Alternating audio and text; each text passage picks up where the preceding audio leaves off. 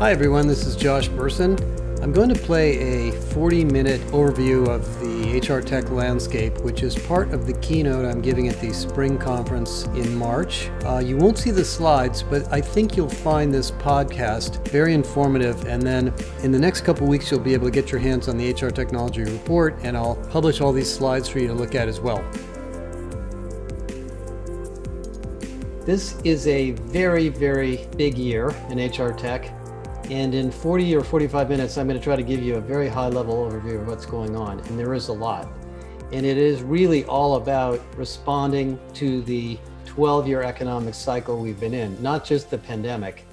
As most of you know, we've been talking about digital disruption, AI, data, income inequality, labor market dislocation, in the future of work and agile organizations for a decade.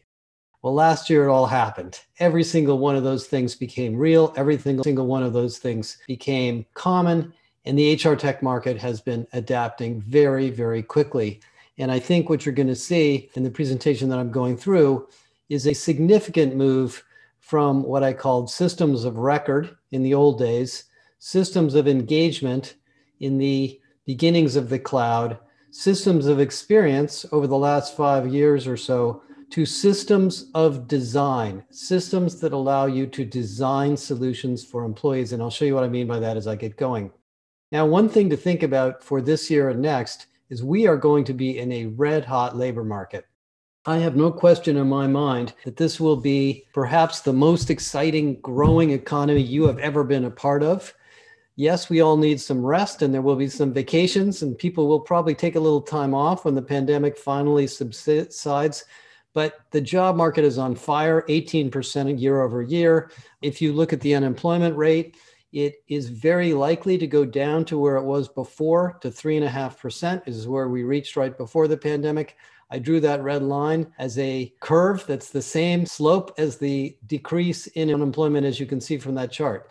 So you're going to be looking for people and you're going to be having to recruit internally and you're going to be having to look very hard for skills because people won't be available that have experience in the jobs that you're creating. And internal brand and employee value proposition and engagement is going to be hot as ever. And you're going to be moving people around in a very prescriptive way and developing a even better system for listening and understanding what's going on in employees. In fact, the real theme for the next two years is transformation not recovery from the pandemic. That's already happened. Most of you have already adapted to the pandemic in a very significant way. But now you've changed what you do, how you go to market, who you sell to, what your products and services are. 80% of the job market is now in the services industry.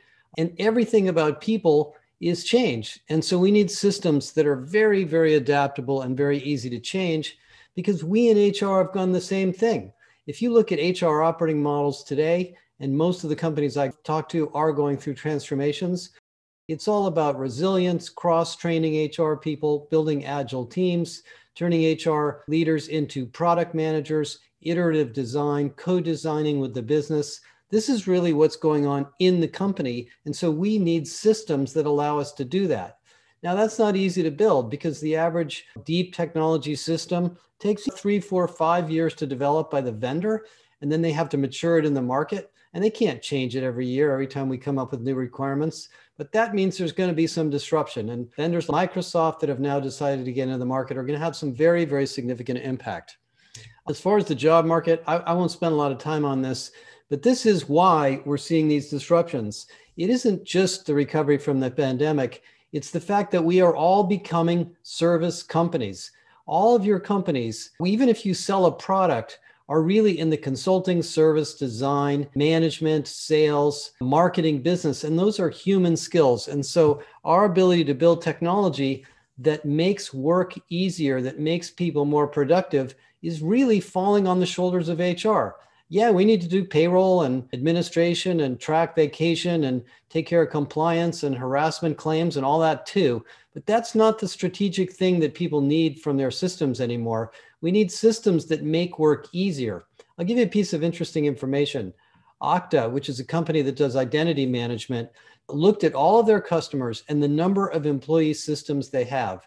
The average large company has more than 120 employee systems.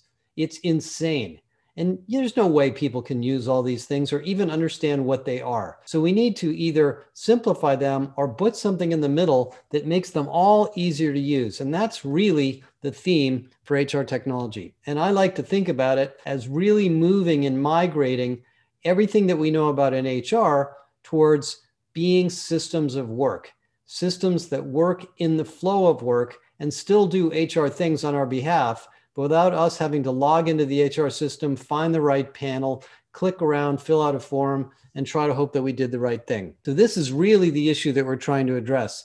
Now, let me talk about employee experience for a minute, because employee experience really is the big elephant in the room that's changing the tech market. You know, going back, I wrote about this when I wrote about the Microsoft announcements. EX goes back to industrial engineering and it had roots in data analysis and time and motion studies and then surveys and quick pulse surveys and feedback and IO psychology, it is now a design discipline. It's now a problem of designing experiences that cross between HR, IT, facilities, health and safety, legal, finance that work for your company. You can't sit around in HR and fix the employee experience. I mean, you can improve it, but you have to work in a cross functional team and you have to work on projects and solutions that are probably unique to your company and your workforce. You may find some off the shelf systems that do what you need, but the chances are you need creator tools as much as you need off the shelf systems. And that's really affecting the market. Many of you have seen this chart for years, and every year I look at it, I change it. But where we've now reached is the systems of productivity whether it be Microsoft or Google or Facebook or Slack or whatever it is you spend all day doing, really have to be integrated into the HR technology. We don't log into Workday that often. We don't log into SuccessFactors that often. In fact, most people would like to not log into it at all. They'd like to use whatever they're already doing and get access to those services through APIs or chatbots. That's a massive change in the market. And I know the big vendors are not going to give up easy. Every vendor wants to have employee interactions directly on their platform, but I would suggest that's not necessarily necessary. You can make a big company without having a lot of front end tools too if you integrate with the vendors that own the front end systems. And that's really the reality of the market ahead. In fact, this red area is now much clearer. The employee experience platform is now a category, and I think Microsoft will legitimize that. And it has layers and it has functions and all of the systems vendors in the market, from Oracle to SAP to SuccessFactors to Workday to ADP, are all trying to figure out where do they play and what parts of that layer do they play in. Because you're probably thinking that a lot of your energy in HR tech is at this layer, is figuring out how to make these systems easy to use and what we call personalized to each employee. Not personal, where you have to call a business partner to figure out what to do, but personalized data driven, and AI enabled so that employees can do their jobs, manage their HR lives, deal with the HR transaction systems, and not have to learn how to use the HR system. And I think Microsoft, by the way, just to make one more point, is going to be even bigger than I thought. Now, I have absolutely no vested interest in Microsoft and no reason to push them. But having used Microsoft tools for most of my career and followed the company for many years, they have really woken up to this market. Not only does Viva have applications in productivity and well-being and learning and employee portals that virtually every company needs, Microsoft technology is the core infrastructure in roughly 70% of global 2000 companies. So even though you may or may not like all the features of Viva as they exist today, I can guarantee you that your IT department is looking at it and trying to figure out how to use it to pull together the hundreds of SharePoint sites, the Office and Microsoft 365 infrastructure, or the video streaming or other technology that they have from Microsoft to make your life easier. So this is a pretty big change in the market, and I think it's something we'll be talking about a lot more in the fall. Let me go into the various segments of the market for a couple minutes, and then I know you're going to have lots more presentations during this session. The core HR systems market. It's obviously big, it's obviously growing, and everybody wants to get into it every year I look at this chart and I realize there's another major technology provider that decided to get into HR. Obviously, this year it's Microsoft. Last year it was to some degree Facebook. And the reason for that is we need these things. The core systems are absolutely essential. I think the market for core HR systems is becoming a little more commodity like. There are big differences between Oracle and SuccessFactors and Workday and ADP. Uh, and depending on the size of your company, the industry you're in, there are going to be certain ones you're going to want and look at and others that aren't going to fit. But the reality of it, the world for them is they are really struggling to keep up. All of those vendors have become very large, successful companies, and they're adapting to this new world of employee experience. And it's not easy. They have tremendous amounts of data about your people, and those systems are important, critical, safe systems of record. So we need to use them and leverage them. And they're now realizing they have to open up their APIs, create journeys or journey interfaces so that you can use these systems in much more creative and developmental ways. And there's another thing going on that's even bigger. And that is that most of you are probably starting to look at your job architecture. The job architectures of the last 30 or 40 years are designed around industrial organizations, management, labor, jobs in defined roles with boxes around them and competencies affiliated to those jobs. As you all know, that is not the way world of work works anymore.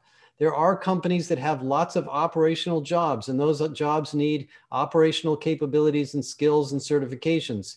But that is a declining part of the market. You're all finding that jobs are changing constantly. Most people have hybrid jobs where they do one thing and something else. They work on a project in addition to the responsibility they have. And the job that they started in a year ago isn't the same job that they have today. And so, what we need to do in the HR technology is create simpler, more adaptable career architectures and job architectures that facilitate this mobility and continuous reskilling that goes on in companies. And we happen to be getting pretty good at this. We've helped a lot of companies do it, but I'm finding that most of you have too many layers, too many job descriptions, and too much detail at the leaf level of your job architecture. This is really where you're going.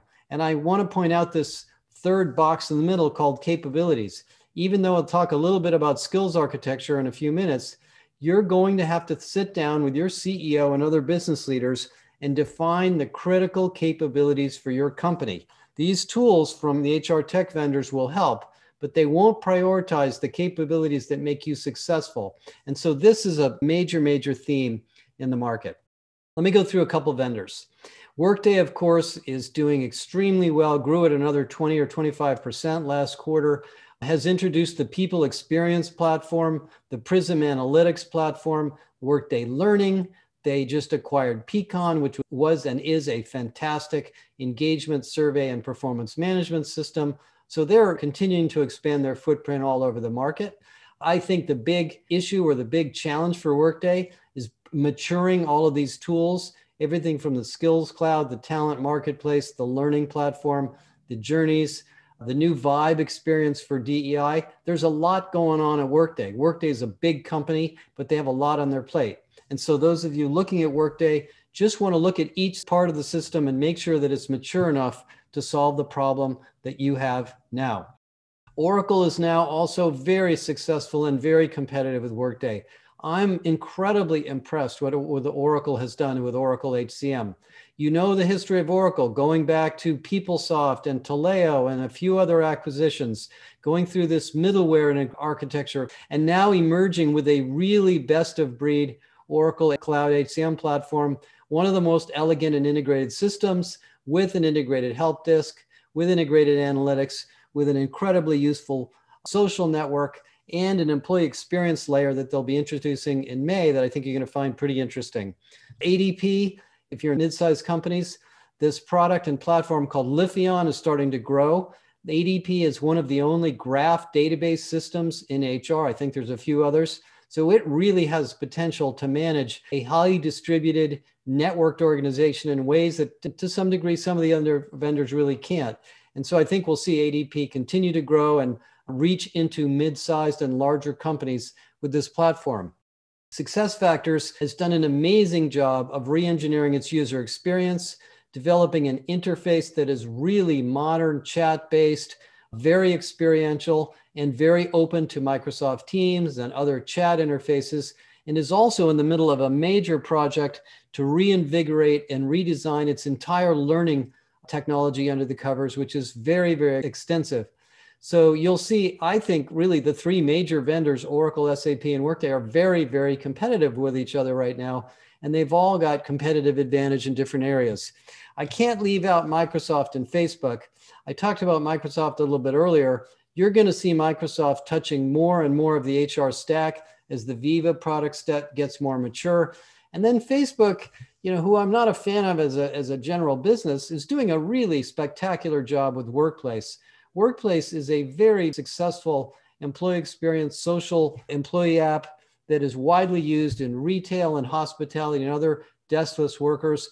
I've used it a lot, spent a lot of time with their customers. It is a very viable employee experience layer for a lot of you, and it is virtually no training because everybody who's ever used Facebook can immediately use it. So those are really disruptive changes.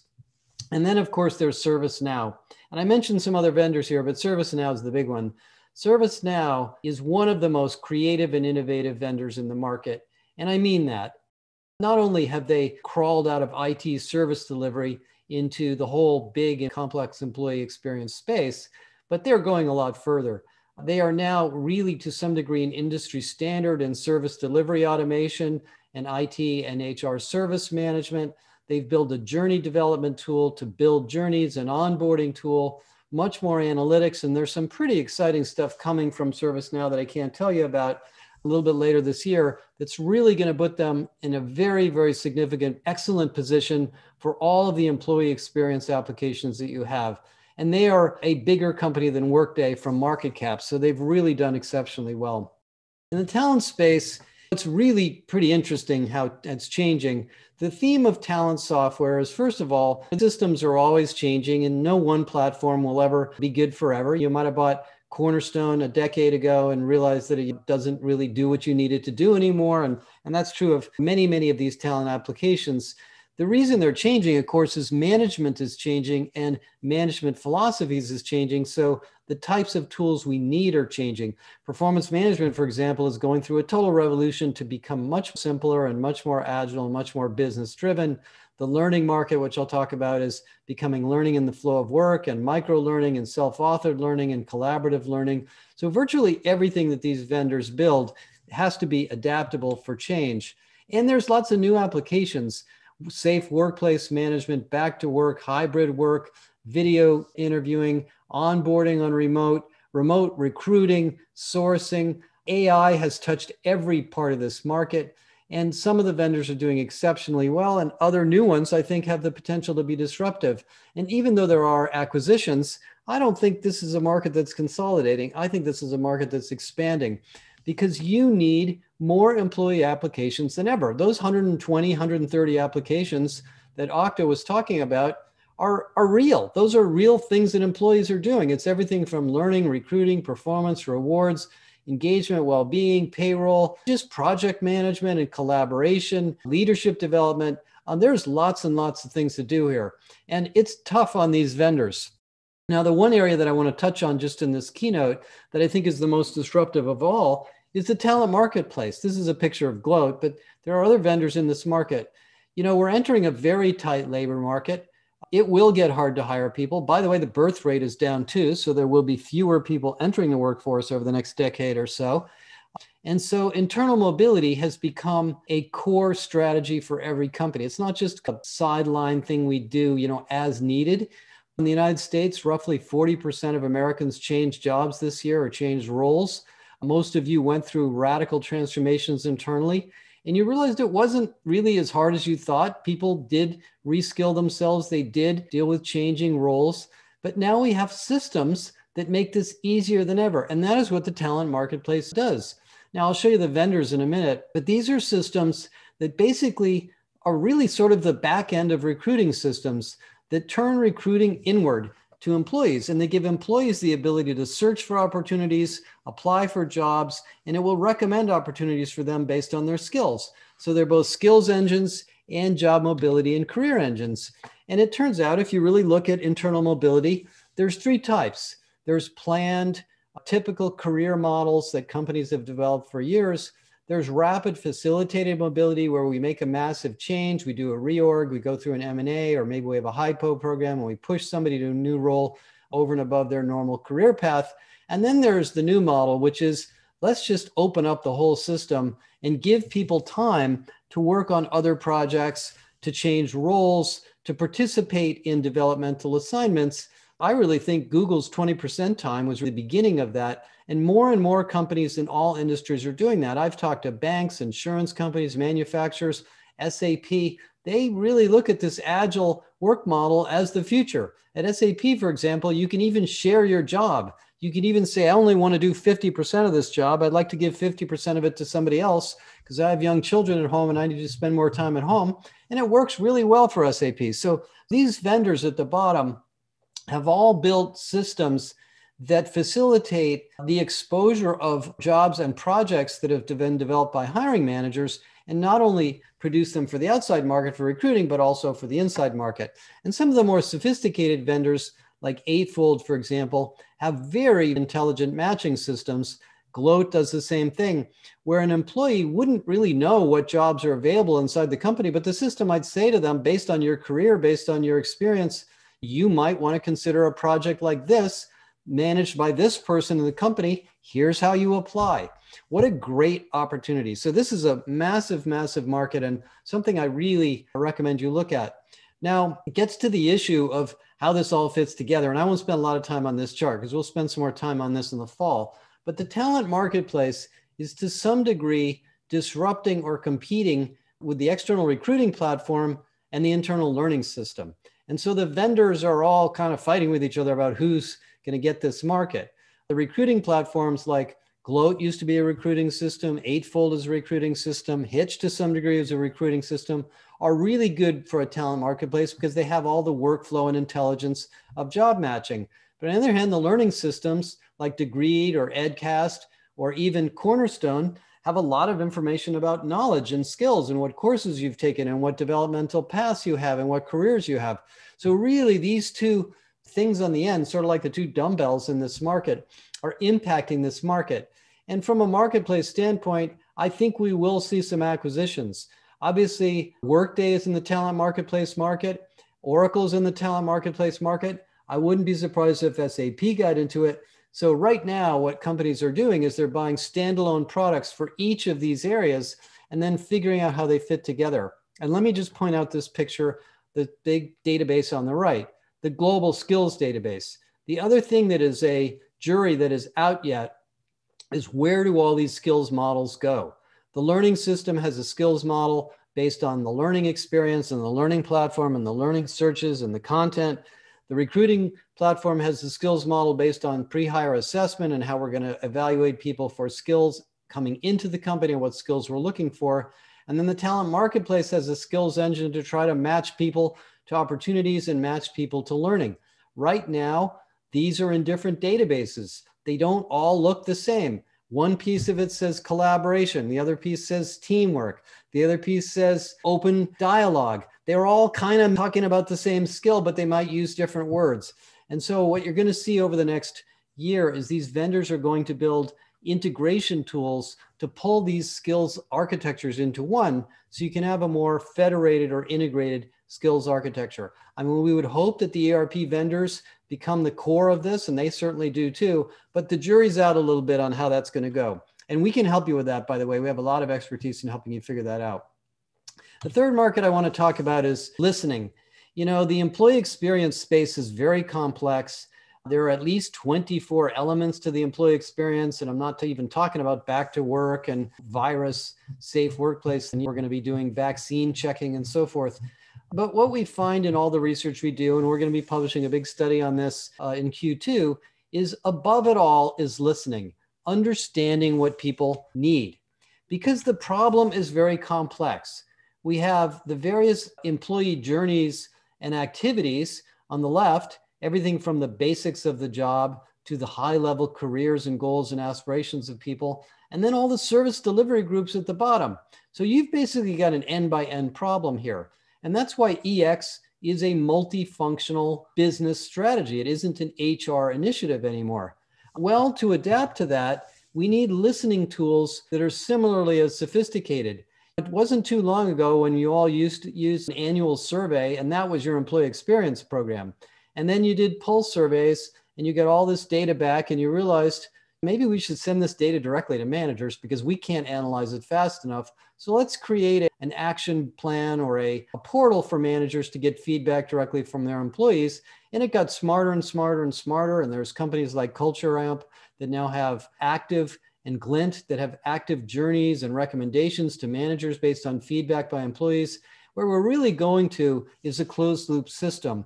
Just like you can reserve a flight on an airplane and fill out a form and maybe even get a call back the next day if you're lucky if something didn't go well. We need the same thing for employees because in the pandemic and the response to the pandemic and everything else that's been going on in the workforce, the number one thing we've learned is that the employees are where the action is.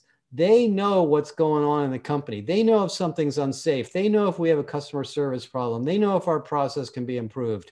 And if we're not listening to them and giving them help and also paying attention to the journeys that they're responsible for and need, we're not going to be able to solve the EX problem. And that has become an explosive market.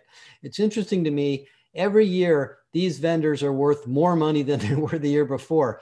You saw what happened to Qualtrics. Qualtrics was acquired for $8 billion by SAP. It was a staggering sum then. They kept them around for two or three years, doubled the revenue, went public just a couple of months ago, is now worth more than $20 billion. Workday just acquired Peakon for a very large number. I won't mention it on this webcast, but it's available if you look on my website because they want to get in this market.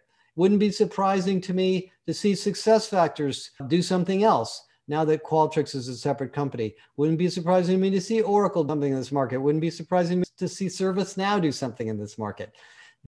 Medallia is becoming a major player in this market because Medallia has a multi-channel listening technology that can listen to data from employees in all different parts of their employee lives like they do for customers. And Medallia can directly correlate that to employee data. So at a, at a, at a hotel chain, for example, you would find out that if the cleaning people are not happy with their jobs because maybe the vacuum cleaners are old and they start complaining, you're going to see a result in the customer experience in those hotels. They can actually close that loop. So this is a massive part of the market. And I think you need to think of it as listening at scale. And it has to be an integrated part of your HR tech strategy. Right now, these tools, many of them are standalone, but with Workday's acquisitions of Peakon and more of the work that's been going on at SAP and SuccessFactors, I think you're going to see it become more part of your part of your core EX infrastructure and part of your core EX strategy. Performance management continues to be an issue. It has simplified itself radically this year. Most companies reduced the number of steps and really focused on development and much less on evaluation.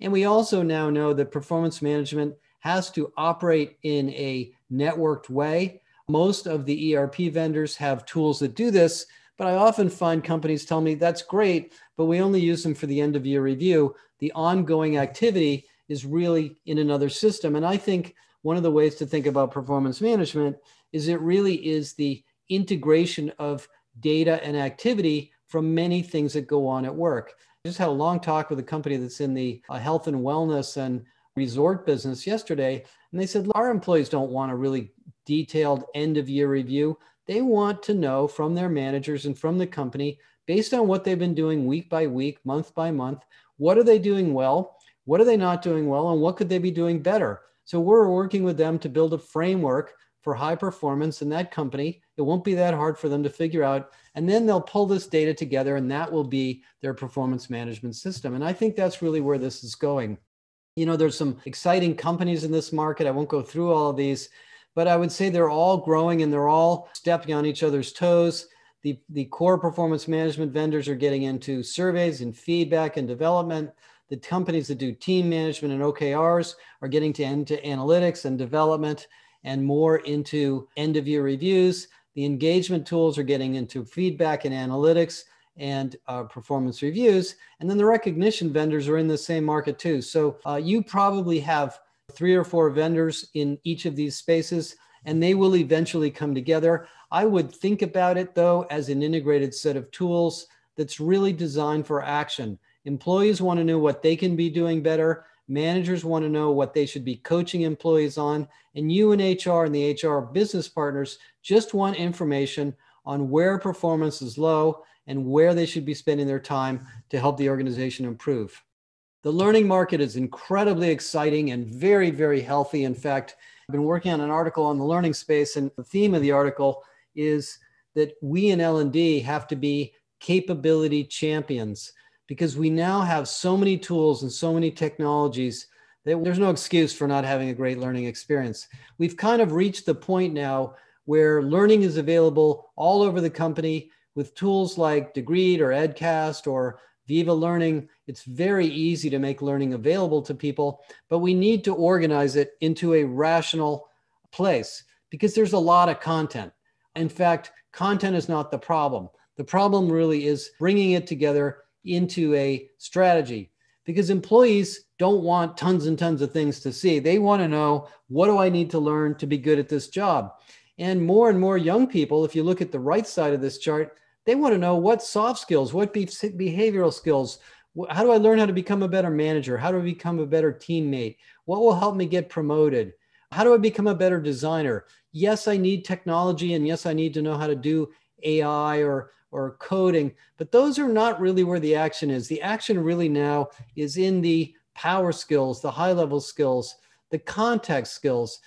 In our academy, we have 500 learning objects and 70 or 80 hours of formal learning. And people basically say to us, I want to take all this stuff. I want to learn all of these things because I need to see the broad context of HR and how my role fits into everybody else's role. So these really behavioral skills are where the learning industry is going. And the market has gotten very, very creative in providing solutions. First of all, learning in the flow of work is now possible. You've heard me probably talk about it for three or four years. I remember I really kind of dreamed about it and talked to quite a few vendors about it. It's now a reality. Uh, you can get learning in the flow of work from virtually any LXP provider, from Microsoft, from Facebook, etc. And it is context sensitive and it is aware of what you're doing. The learning market is also flipped upside down. You know, it used to be that the LMS was the core center of your learning technology and then you built on top of it. It's really the opposite now. You start with the learning experience and then you build and add the learning delivery systems and the content systems to that. And that's why the LXP market has gotten so hot. I spend a lot of time in the LMS and learning market. And I think most companies are saying, how do I build an experience that will deliver the capability development, the leadership, the skills development, the technical development, the sales leadership that we need in our company? And where do we put this content and how do we arrange it into a context that's easy to use? Now, the vendor market is complex and confusing. It tends to fall into categories. The top are systems that really arrange and, and allow you to arrange and discover content in very creative ways. They include collaboration, they include AI, they will give you recommendations for content, and you have to pick the one that you like. They will fall into the categories of an LXP or a learning delivery system or a micro learning system. And most companies have more than one, as I'll show you. In the middle, there are the tools for development and content management. They have not gone away. They continue to be important, but you know, we don't build long, complex courses the way we used to. I was just on the phone yesterday with a, a very large industrial manufacturer, and they said all their learning is self-authored by experts in the company, and they just create five-minute videos and make them available to each other. So the development tools market ranges from how quickly can I get a video into the system to how do I build this complex blended system learning in the flow of work includes digital adoption tools, tools like WalkMe, Enable Now, Microsoft Teams, Edcast has a tool that does this, are also an important part of the learning market. And if you're a big company, you probably need to look at those. And then, of course, the LMS and the LRS. Now, I'm not going to spend a lot of time on the LMS market. Most of you probably have an LMS. There are a lot of LMS systems, and some of the smaller mid market ones are very, very full stack systems that can really handle all of this. But another market that's really taking off is now the learning record store market, LRS. The LRS is a system that captures all of the interactivities and utilization of learning in the company and puts it in one place. And that's really important when you've got content all over the place. And so we're going to publish a white paper in the next couple of weeks on the LMS market. I think you'll be surprised that those are very important technologies that will help you make sense of all this content that is not in your LMS anymore and not in one place. There's some disruptive vendors. I talked about Microsoft. BetterUp is an example of a company that's come out of nowhere that really built an AI based coaching platform that's now worth almost $2 billion, impacting the L&D space with what they call precision learning at scale. Udemy, an amazing company, self authored content by experts like me. I actually have a course on Udemy that continues to be doing reasonably well, even though I built this other academy.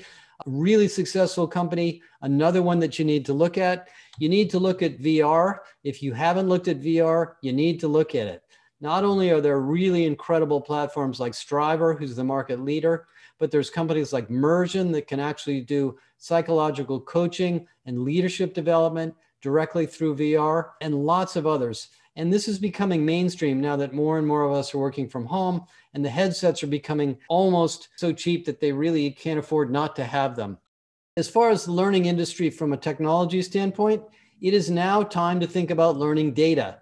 You all have multiple learning systems. I've never talked to a company that didn't have, you know, a dozen or more learning systems and you probably have more learning going on in your company than you even know you do.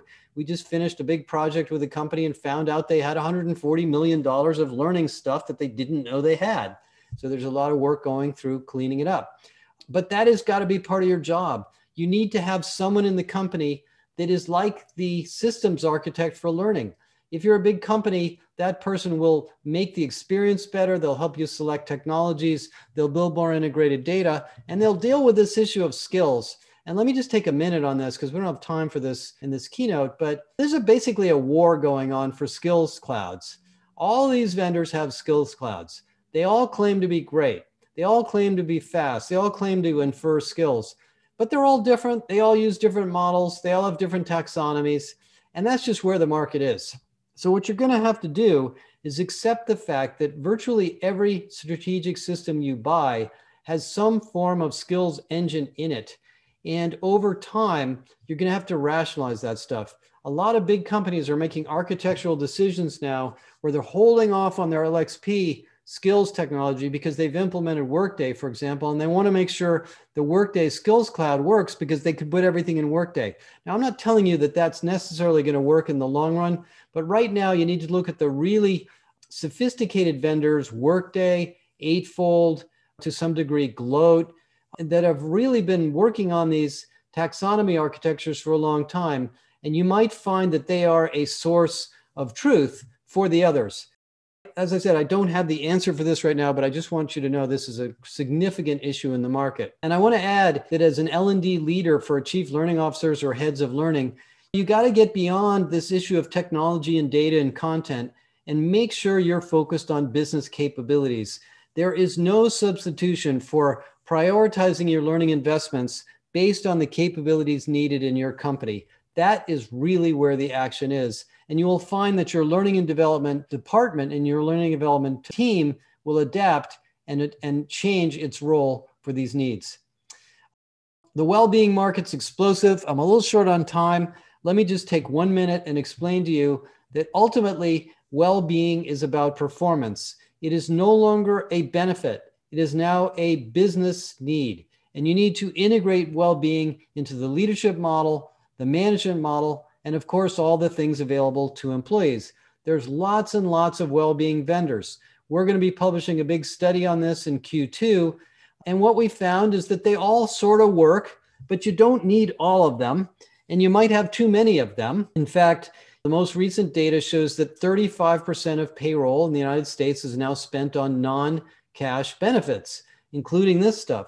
So even though these may seem like wonderful solutions, the real strategy is to build a well-being approach and to teach people in the company about flexibility, forgiveness, time management, taking breaks, taking vacations, shutting down the company on the weekends, not sending emails all night, and doing social responsibility and giving back to society because those are the things that really create a sense of well being at work.